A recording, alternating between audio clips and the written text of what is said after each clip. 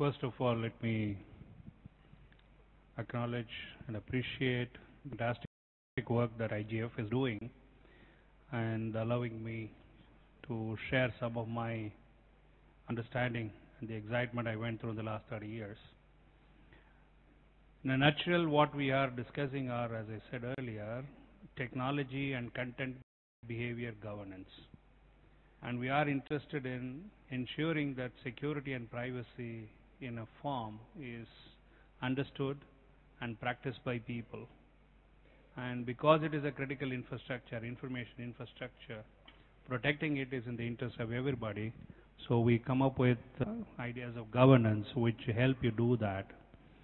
So we, in the process of doing it, we are going to define principles, rights, accountability, responsibility, liability, so on, and create a system.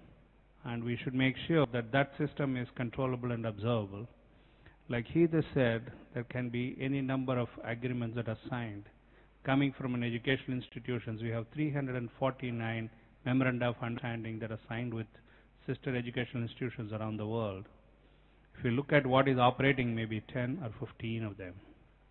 And that too because of one passionate individual behind each one of them. So we not only create these formalisms and structures, let's also find passionate individuals everywhere in the world, inside every stakeholder, the government, the NGOs, the business, whatever, who believe in what we are saying and what we are discussing. And to put it in uh, Lau's words, what we are trying to do with the technology is a business transaction in a trustworthy environment. So trust, technology, transactions is going to be the paradigm for the IGF. So that has to be reiterated.